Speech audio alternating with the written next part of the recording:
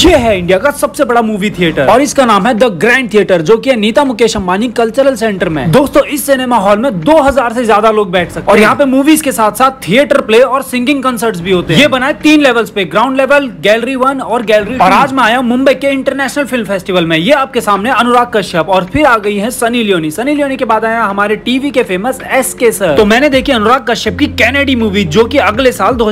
में रिलीज होने वाली वीडियो में यहाँ तक आ गए तो चैनल को सब्सक्राइब जरूर करें बाय बाय